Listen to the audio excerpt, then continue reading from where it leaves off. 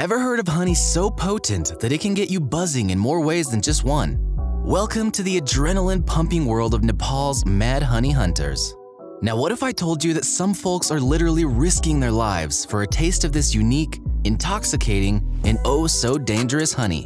Strap in because we're about to embark on a dizzying adventure up the cliffs of the Annapurna region. Deep in the heart of Nepal, nestled in the green expanse of the Annapurna region, lives a fearless tribe with an intriguing profession.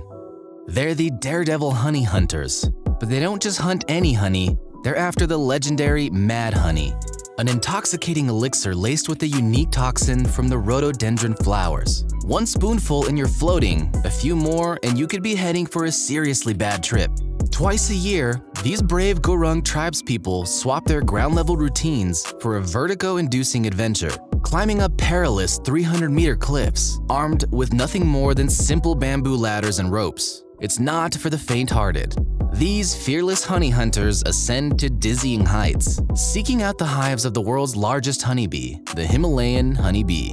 In a daring feat, a brave soul dangles off a cliff, carefully navigating a precarious bamboo ladder amidst a swarm of giant bees. Armed with smoke from burning grass and leaves, they ward off the agitated bees. With skilled precision, the harvester cuts away chunks of honeycomb, collecting them in a basket below, ready to be safely lowered to the ground. But it's not over yet. Now comes the delicate operation of extracting the mad from the normal honey.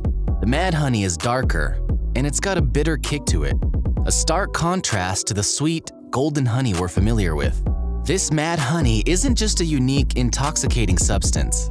It's woven into the Gurung's cultural tapestry. It's their ticket to make ends meet, and it's the key ingredient to their traditional medicine, believed to tackle everything from hypertension to diabetes.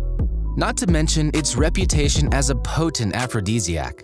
A little known fact to chew on, this bitter, dark honey harvested from the world's largest honeybees can fetch up to 60 to $80 per pound on the international market. This lucrative price tag is a testament to its rarity, cultural significance, and the sheer bravery of the hunters who risk it all to gather this dangerous delicacy.